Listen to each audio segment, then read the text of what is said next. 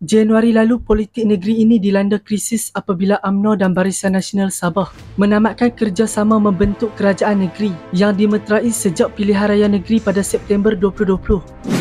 Pengurusi BN Sabah yang juga Ketua UMNO Negeri, Datuk Seri Bung Moktaradi mengumumkan keputusan sebulat suara pimpinannya selepas mengambil kira tindakan Ketua Menteri Datuk Seri Haji Jinur memecat pengarah pilihan raya BN Sabah, Datuk Seri Saleh Said Keruak sebagai pengurusi khazanah Sabah dan dilihat seakan mengunggut dengan mengumumkan rombakan kabinet negeri ketika itu.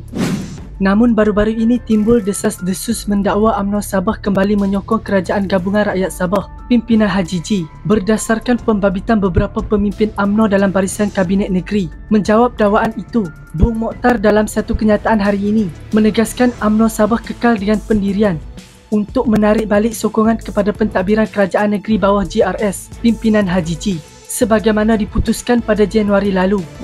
Ahli Parlimen Kina Batangan itu mengaku BN Pusat pernah mengeluarkan kenyataan menyokong kerajaan GRS pimpinan Haji Ji berdasarkan ketetapan pada peringkat persekutuan untuk membentuk kerajaan perpaduan.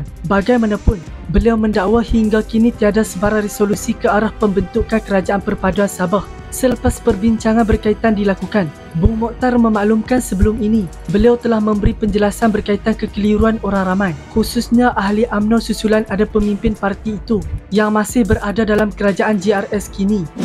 Bagaimanapun beliau berkata pemimpin terbabit tidak membuat sokongan secara terbuka mahupun menandatangani akuan bersumpah menyokong Haji Ji berbanding beberapa pemimpin lain yang dipecat daripada AMNO. Pemimpin itu dipecat AMNO kerana mereka menyokong secara terbuka dan menandatangani SD. Malah sudah pun mengisytiharkan keluar AMNO katanya.